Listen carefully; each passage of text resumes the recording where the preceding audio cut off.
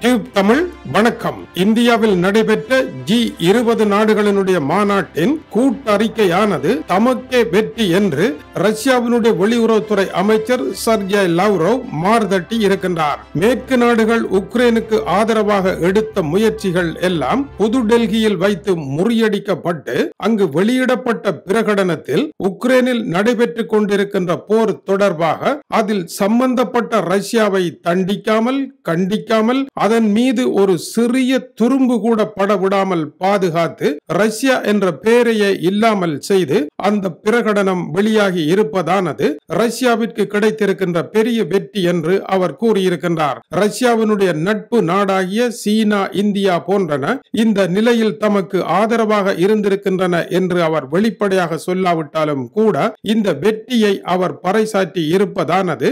G இருபது நாடுகளினுடைய மாநாட்டிற்கு எதிர்காலத்தில் எவ்வாறான விளைவுகளை ஏற்படுத்தும் என்றது ஒரு கேள்விக்குறியாகும். ஏனென்றால் ஜி இருபது மாநாடுகள் முடிவடைந்து இப்பொழுது பிரேசிலிடம் பொறுப்பு ஒப்படைக்கப்பட்டிருக்கின்றது. பிரேசிலினுடைய அதிபர் லூலா அவர் ரஷ்யாவினுடைய அதிபர் புட்டின் அடுத்து தமது நாட்டில் நடைபெற இருக்கின்ற ஜி இருபது மாநாட்டில் எந்த தடையும் இல்லாமல் வரலாம் என்று அறிவித்திருக்கின்றார். ரஷ்ய அதிபர் இந்தியாவிற்கு வராததற்கான காரணம் உக்ரைன் போரில் உக்ரைனில் இருந்து சிறு பிள்ளைகளை கடத்தி சென்று ரஷ்யாவிற்குள் வைத்திருக்கின்ற காரணத்தினால் போர்க்குற்றவாளியாக அடையாளம் காணப்பட்டு அவரை கைது செய்வதற்கான உத்தரவு சர்வதேச போர்க்குற்ற நீதிமன்றினால் பிறப்பிக்கப்பட்டிருப்பது குறிப்பிடத்தக்கது. அப்படியொரு உத்தரவு இருந்தாலும் தமது நாடு அதற்கு இணங்கி வராது என்று கூறி இருப்பதும் செர்ஜே லவ்ரோவினுடைய இந்த கருத்து வெளியாகி இருக்கின்றதும் இரண்டும் ஒன்றோடு ஒன்று சேருகின்ற பொழுது எவ்வாறு இந்த அறிக்கையானது ஒருமித்த ஒன்றுபட்ட ஜி இருபது நாடுகளினுடைய ஒற்றுமை அறிக்கை என்று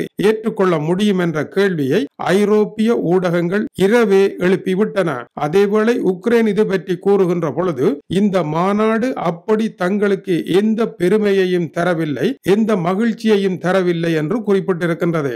ஏனென்றால் இதுவரை நடைபெற்ற மாநாடுகள் எல்லாவற்றிலும் ஜி ஏழு என்கின்ற பிரம்மாண்டமான மாநாட்டில் கூட உக்ரைனிய அதிபர் வோலோடிமிர் செலன்ஸ்கி அங்கு வீடியோ கால் காணொளி மூலமாக அந்த தலைவர்களிடையே பேசியதும் பெருந்தொகையான பணம் அவர்களுக்கு வழங்கப்பட்ட சம்பவமும் அந்த போர் நமது போர் என்று கூறுகின்ற அளவிற்கு ஜி ஏழு நாடுகள் அவர்களுடன் துணையாக நின்ற அந்த நிகழ்விற்கும் ஜி இருபதில் நடைபெற்றிருக்கின்ற முடிவிற்கும் இடையே உக்ரைனுக்கு மலைக்கும் மடுவிற்கும் இடையே ஆன வித்தியாசம் ஏற்படுவதனால் நமக்கு இது எந்த பெருமையையும் தரவில்லை என்று அவர்கள் இந்த மாநாட்டை நிராகரித்திருக்கின்றார்கள். ஆனால் மேற்கு நாடுகள் இந்த இருபது நாடு நாடுகளும் இணைந்து வெளியிட்ட ஒப்பந்தத்தில் நாங்கள் இணங்கவில்லை என்கின்ற முரண்பாட்டை காட்டாவிட்டாலும் இந்தியாவிற்கு ஆதரவாக இருக்க வேண்டும். இந்தியாவை இந்த நேரம் மனம் சிணுங்க வைக்க கூடாது என்று அவர்கள் இணங்கியிருக்கின்றார்கள். அவர்களை பொறுத்த வரையில் ரஷ்யாவினுடைய நிழலில் இந்தியா பதுங்கி இருக்கின்றது அதிலிருந்து வெளியே வர வேண்டும் என்று நாம் சொல்லவில்லை. அந்த கட்டுரை எழுதியிருக்கின்றது. அந்த கட்டுரையின் பிரகாரம் பாது நரேந்திர மோடிக்கு ஆதரவாக மேற்கு நாடுகள் இருக்கும் என்கின்ற ஒரு சமிக்ஞையை அவர்கள் சொல்வதற்காகவே இந்த இருபது நாடுகளும் முரண்படவில்லை. ஆனாலும் கூட மேற்கு நாடுகள் குறிப்பிட்ட உக்ரைன் மீது நடைபெறுகின்ற போரை ஒரு ஆக்கிரமிப்பு போர் என்று பிரகடனப்படுத்தாமல் விட்டது. மேற்கு நாடுகளுக்கு கசப்பான ஒரு விடயமே அதை ஆக்கிரமிப்பு போர் என்று சொல்லாத ஒரு தீர்மானத்தை இணைந்து ஏற்றோம் என்று சொல்வது கூட அவர்களுக்கு சங்கடமான ஒரு விடயமாகத்தான் இருக்கும். இந்த தீர்மானத்திலே குறிப்பிடப்பட்டது ஐக்கிய நாடுகள் சபையினுடைய தீர்மானத்தின்படி இன்னொரு நாட்டை ஆக்கிரமிக்க முடியாது இன்னொரு நாட்டு தானிய களஞ்சியங்கள் மற்றும் தொழிற்சாலைகள் மீது குண்டு வீசக்கூடாது அது குற்றம் என்று கூறப்பட்டிருக்கின்றது. இதை ஜி இருபது நாடுகளினுடைய அறிக்கை கூற வேண்டிய தேவை இல்லை. ஏற்கனவே ஐக்கிய நாடுகள் சபையில் கூறப்பட்டதை டெல்லியில் வைத்து எதற்காக கூற வேண்டும் என்றும் அந்த கட்டுரை கேள்வி எழுப்பி இருக்கின்றது மேலும் இந்த இருபது நாடுகளினுடைய தீர்மானத்தில் இருந்து ஒரு நாடு தான் விலகி தான் நினைத்தவாறு செல்லுமாக இருந்தால் ஜி இருபது நாள் என்ன செய்ய முடியும் என்ற கேள்வியும் எழுந்திருக்கின்றது. ஏனென்றால் இந்த கூட்டறிக்கையில் ரஷ்யாவினுடைய பெயரை குறிப்பிடாவிட்டாலும் கூட மேற்கு நாடுகள் உக்ரைனுக்கு ஆயுதங்களை வழங்கத்தான் போகின்றன. ரஷ்ய அதிபர் இந்த மாநாடு நடைபெற்றுக் கொண்டு இருக்க தேர்தலை நடத்தி இருக்கின்றார் நான்கு பெரும் மாநிலங்களில் உக்ரைனில் கைப்பற்றிய இடங்களில். அங்கு எதிர் போட்டியாளர்கள் அனுமதிக்கப்படவில்லை. ரஷ்ய அரசினுடைய ஆட்களே நியமிக்கப்பட்டிருக்கின்றார்கள். இவ்வாறான ஒரு தேர்தலை எப்படி நடத்த முடியும்? ஐக்கிய நாடு நாடுகள் சபைக்கு எதிராக என்ற கேள்வியை கூட அந்த மன்று தன்னுடைய பிரேரணையிலே எதிர்த்து எதையும் கூறவில்லை. இதுவும் ஒரு முக்கிய முரண்பாடாக இருக்கின்றது.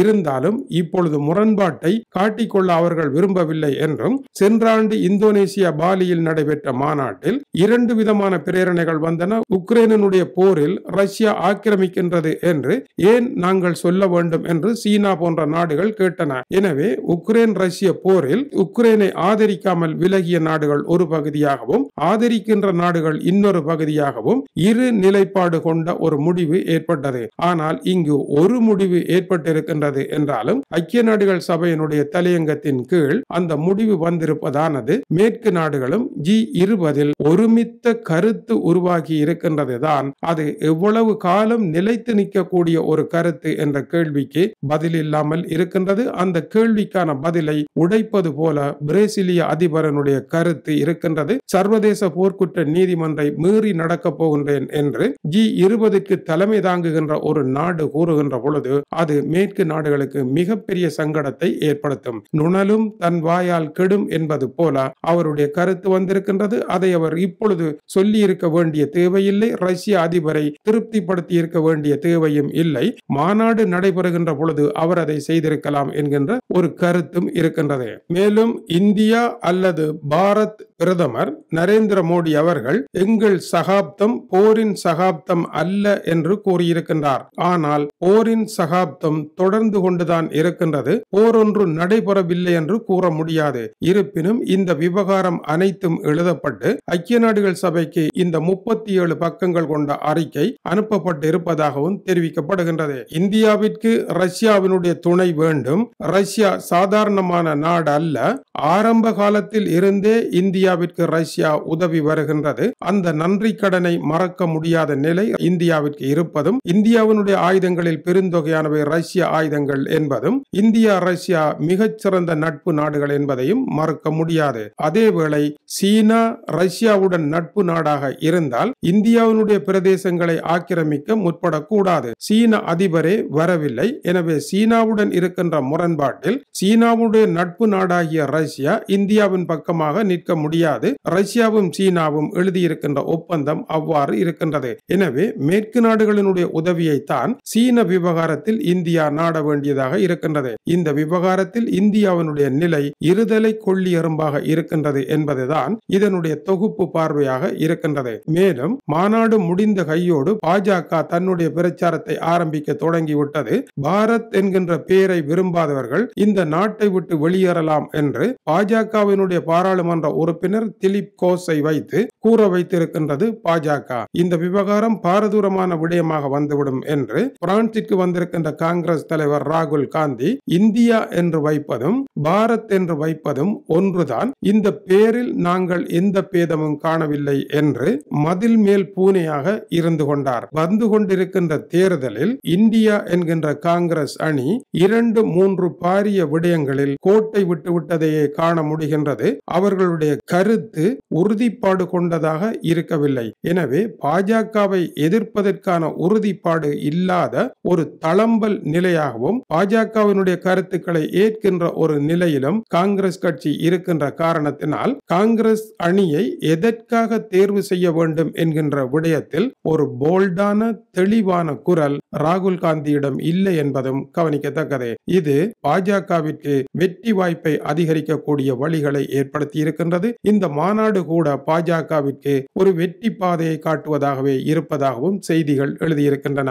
இனி என்ன? ஜி இருபது நாடுகளினுடைய அறிக்கையில் மிக பிரமாண்டமான நிதி வேண்டும் அதை கொண்டு நடத்துவதற்கு இருபது நாடுகளுக்கு இடையேயும் உறவு இல்லாத நிலையில் இரு தரப்பாக இரு அணிகளாக இருக்கின்றார்கள். இந்த முரண்பாடான ஒரு சூழ்நிலையில் எவ்வாறு பணக்கார நாடுகள் நிதியை வழங்கும் என்பது நாளைய கேள்விக்குறியாகவே இருக்க போகின்றது. இருப்பினும் ஜி இருபது மாநாடானது சிறப்பாக நடைபெற்று முடிந்திருக்கின்றது. பாரத் என்கின்ற பெயருடன் இந்தியா இதை வெற்றிகரமாக நடத்தி முடித்த வரலாற்றை எழுதியிருக்கின்றது என்றால் அது மிகை கூற்றும் அல்ல. அந்த வகையில் இந்திய மக்களுக்கும் இந்தியாவிற்கும் இந்த பாரத் தேசத்திற்கும் இந்த நாள் வெற்றி நாள் என்றால் அது மிகை கூற்றும் அல்ல. இது டியூப் தமிழனுடைய உலக செய்திகளுக்காக டென்மார்க்கில் இருந்து கீசே துறை வணக்கம் உறவுகளே.